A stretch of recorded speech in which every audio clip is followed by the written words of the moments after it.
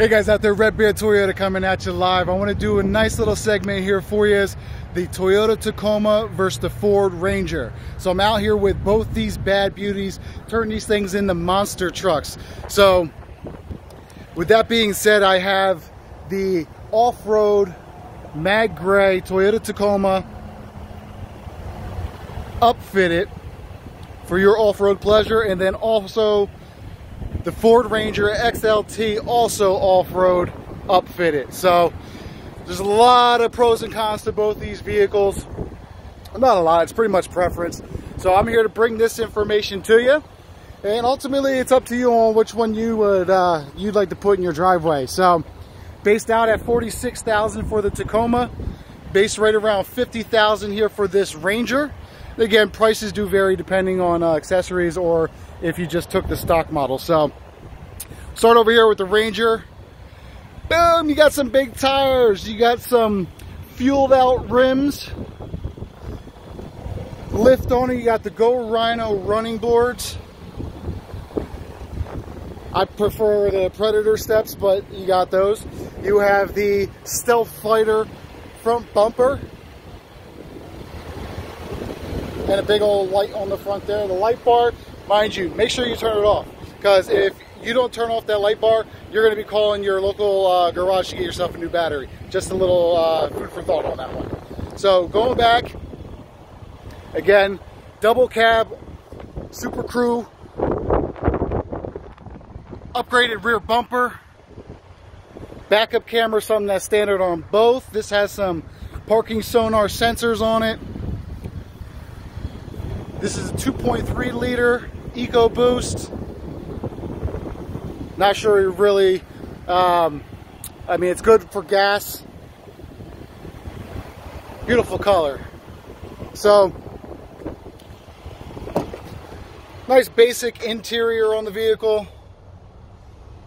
Looks very similar to the Ford Explorer. Got USB ports down there, Apple CarPlay, Android Auto parking sensors, like all that stuff that you can control. Interior, pretty basic.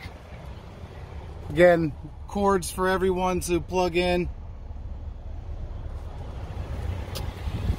Swing around to the driver's side for you.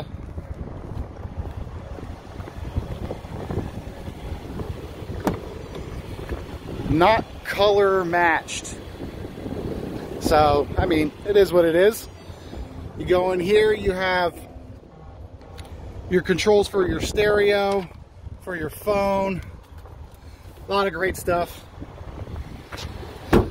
Not exactly, you know, my cup of tea, but it is a nice truck. I have a lot of Ford owners out there, and I'd love to help you out with one of these. Or if you wanted to convert and switch yourself over, they call me Red Beard Toyota for a reason. So here is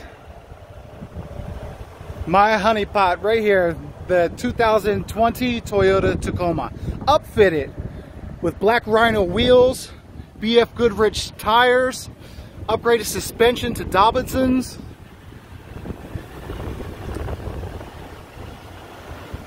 Just an overall bad truck. Of course, like the like the Ranger, you got those LED lights